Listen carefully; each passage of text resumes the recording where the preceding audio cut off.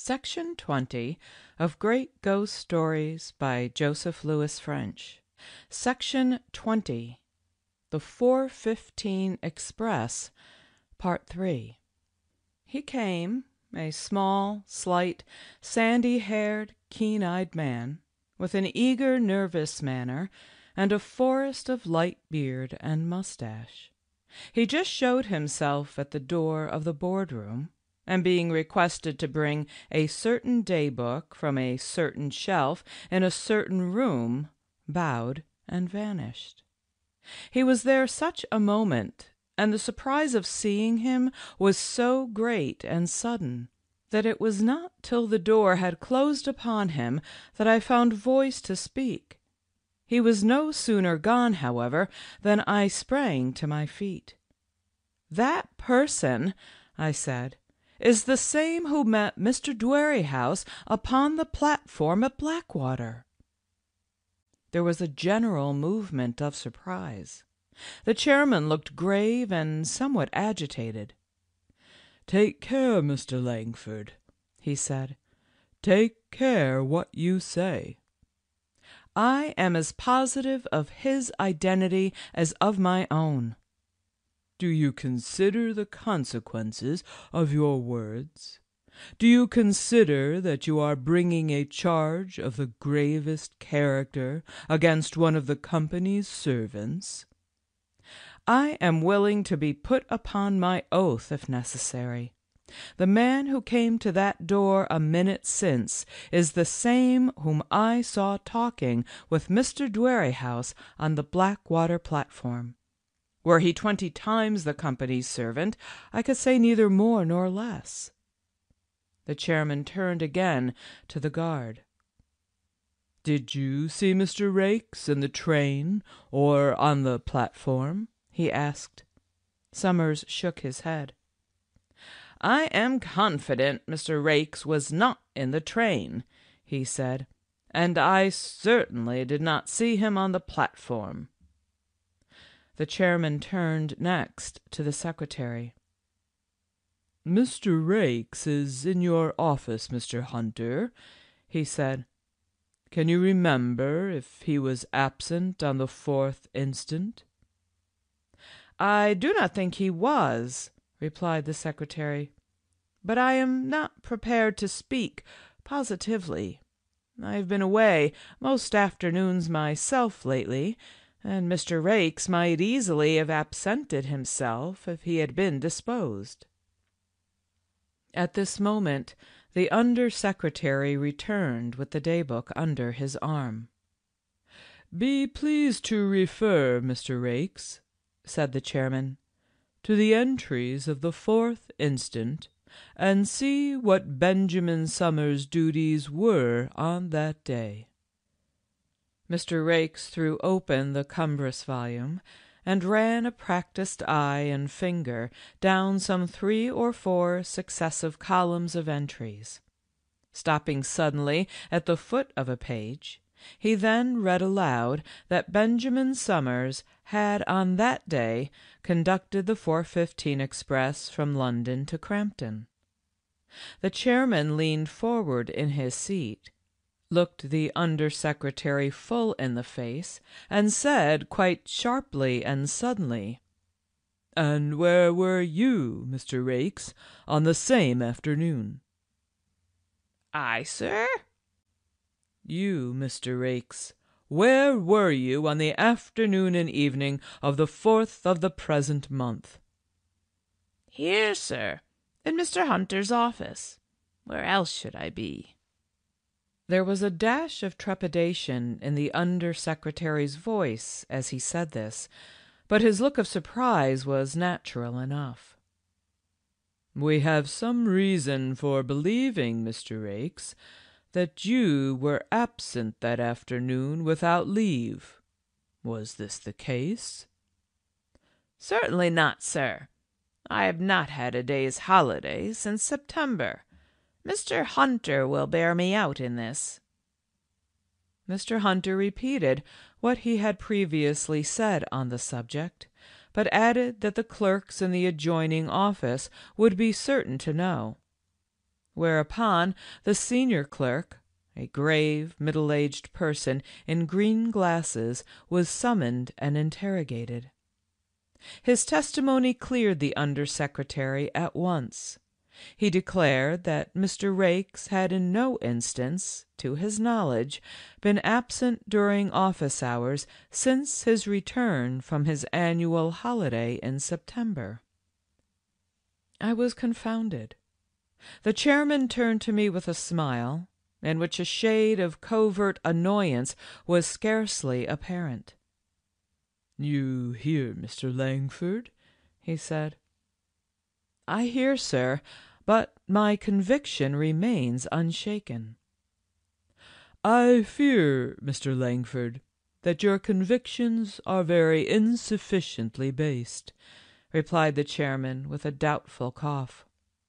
"I fear that you dream dreams and mistake them for actual occurrences.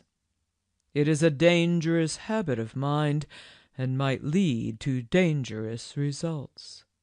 Mr. Raikes here would have found himself in an unpleasant position had he not proved so satisfactory an alibi." I was about to reply, but he gave me no time. "I think, gentlemen," he went on to say, addressing the board that we should be wasting time to push this inquiry further. Mr. Langford's evidence would seem to be of an equal value throughout. The testimony of Benjamin Summers disproves his first statement, and the testimony of the last witness disproves the second. I think we may conclude that Mr. Langford fell asleep in the train on the occasion of his journey to Clayborough, and dreamed an unusually vivid and circumstantial dream, of which, however, we have now heard quite enough. There are few things more annoying than to find one's positive convictions met with incredulity. I could not help feeling impatient at the turn that affairs had taken. I was not proof against the civil sarcasm of the chairman's manner.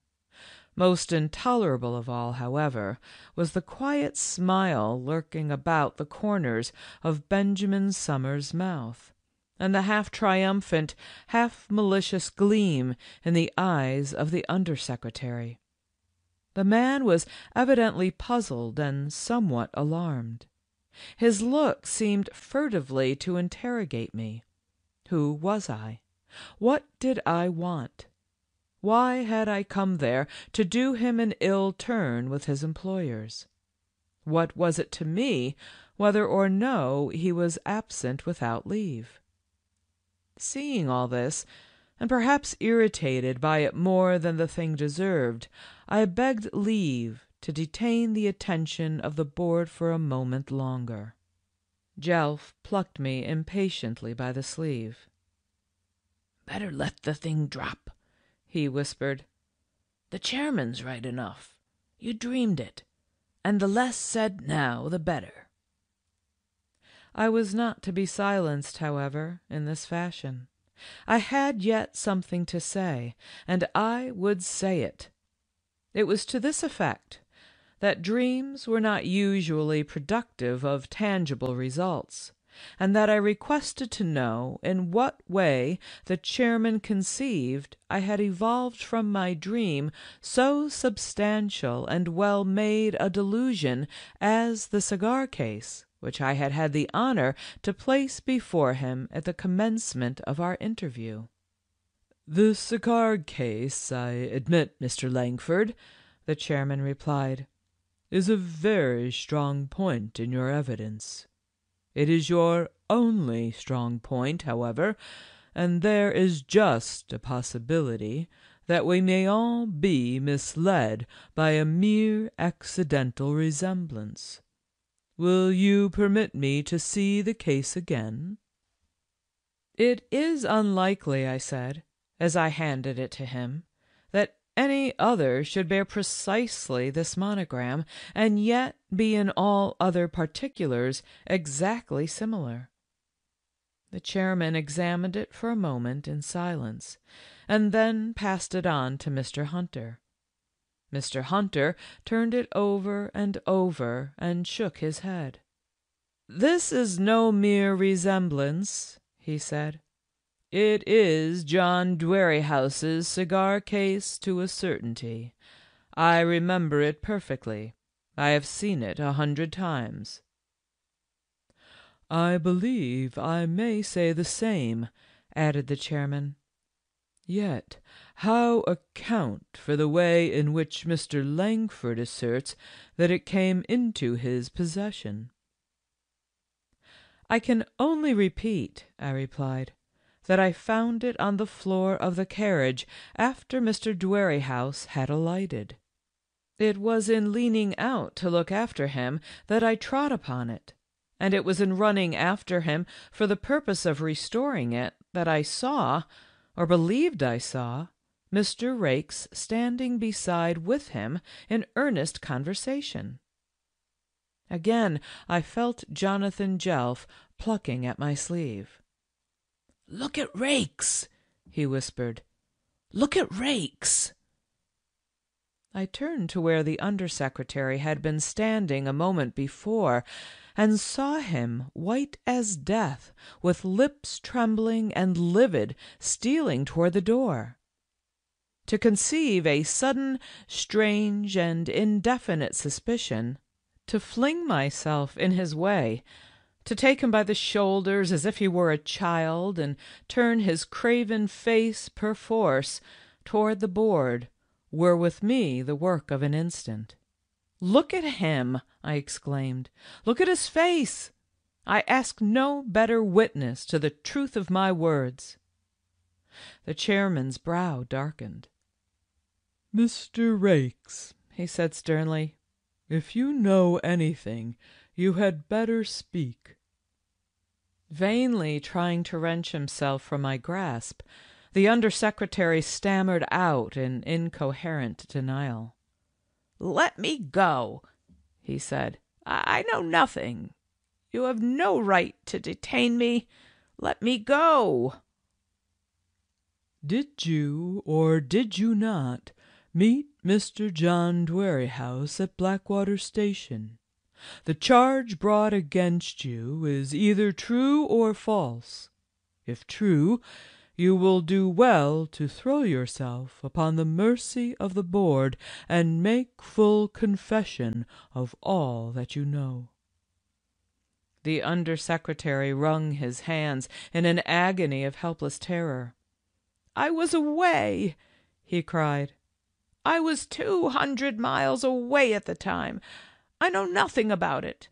I have nothing to confess. I am innocent. I call God to witness I am innocent. Two hundred miles away? echoed the chairman. What do you mean? I was in Devonshire. I had three weeks' leave of absence. I appealed to Mr. Hunter. Mr. Hunter knows I had three weeks' leave of absence. I was in Devonshire all the time. I can prove I was in Devonshire. Seeing him so abject, so incoherent, so wild with apprehension, the directors began to whisper gravely among themselves, while one got quietly up and called the porter to guard the door. What has your being in Devonshire to do with the matter? said the chairman. When were you in Devonshire? Mr. Raikes took his leave in September, said the secretary, about the time when Mr. Dwerrihouse disappeared. I never even heard that he had disappeared till I came back.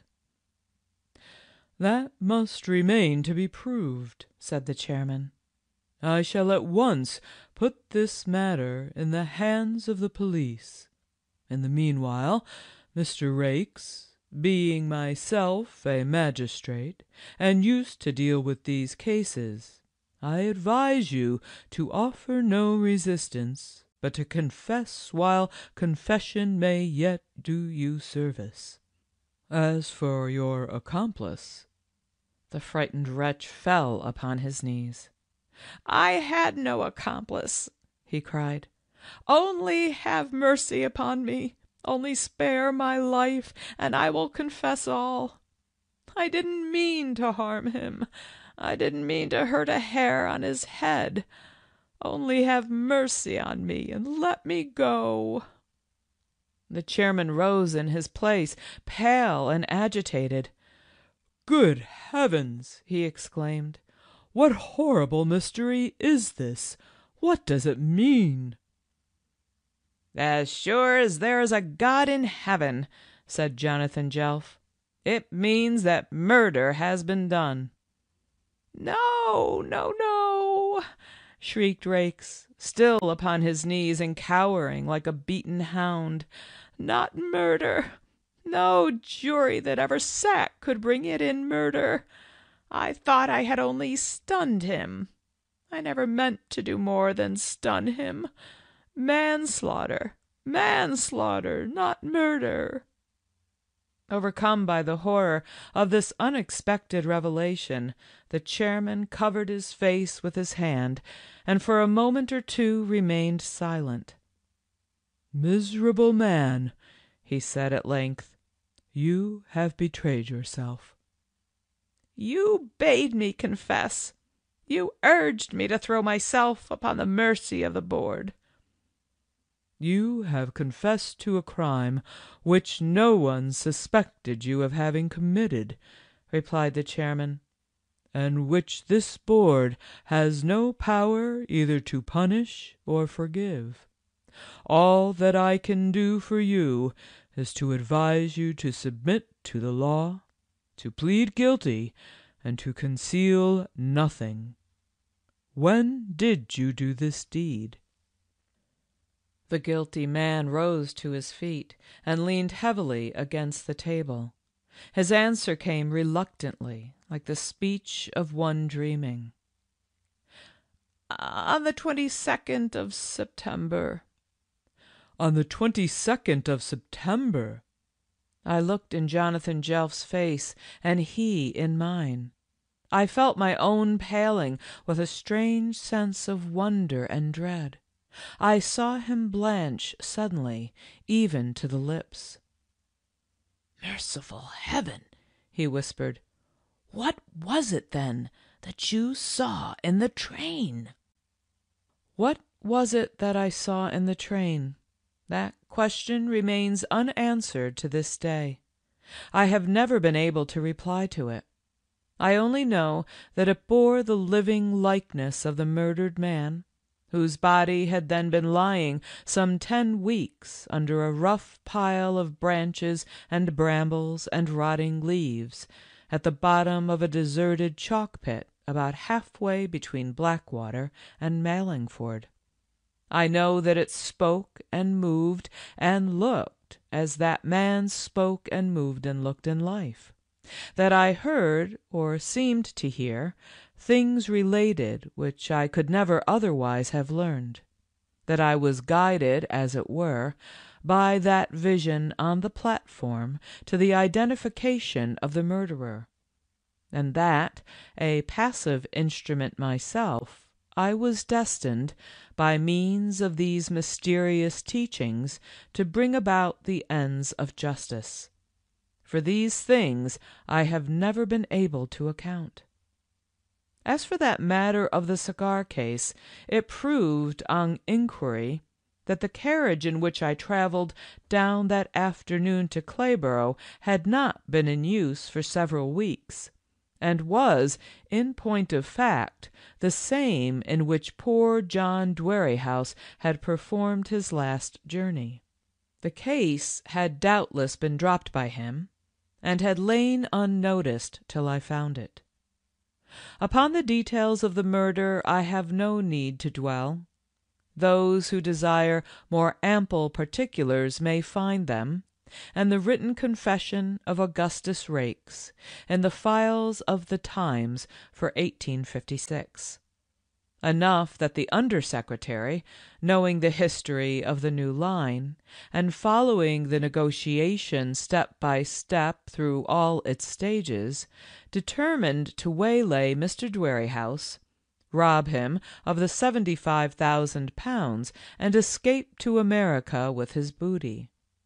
In order to effect these ends, he obtained leave of absence a few days before the time appointed for the payment of the money, secured his passage across the Atlantic in a steamer advertised to start on the 23rd, provided himself with a heavily loaded life preserver, and went down to Blackwater to await the arrival of his victim how he met him on the platform with a pretended message from the board, how he offered to conduct him by a short cut across the fields to Mallingford, how, having brought him to a lonely place, he struck him down with the life preserver and so killed him, and how, finding what he had done, he dragged the body to the verge of an out of the way chalk pit and there flung it in and piled it over with branches and brambles, the facts still fresh in the memories of those who, like the connoisseurs in De Quincey's famous essay, regard murder as a fine art. Strangely enough, the murderer, having done his work, was afraid to leave the country. He declared that he had not intended to take the director's life, but only to stun and rob him, and that, finding the blow had killed, he dared not fly for fear of drawing down suspicion upon his own head. As a mere robber he would have been safe in the States, but as a murderer he would inevitably have been pursued and given up to justice. So he forfeited his passage, returned to the office as usual at the end of his leave, and locked up his ill gotten thousands till a more convenient opportunity. In the meanwhile he had the satisfaction of finding that Mr. Dwerrihouse was universally believed to have absconded with the money, no one knew how or whither. Whether he meant murder or not, however, Mr. Augustus Raikes paid the full penalty of his crime, and was hanged at the Old Bailey in the second week of January, 1857.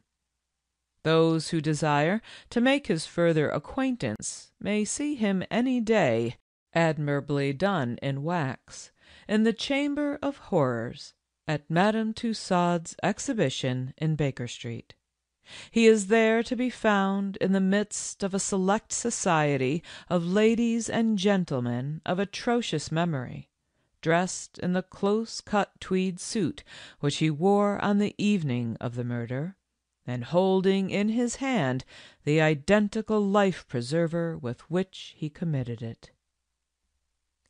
End of section 20.